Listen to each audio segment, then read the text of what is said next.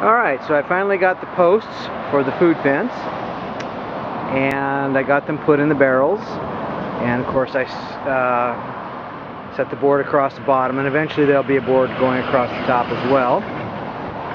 Um, right now I am attaching the fence. Um, this is uh, stock fence. Let's see, I can probably zoom in and make that out pretty well. Pretty better.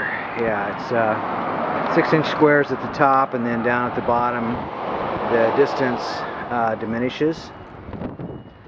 And uh, so you'll see how this all works out pretty quick. Alright so here's the uh, next stage in this is I have made the wire loops and uh, slipped the pots in them.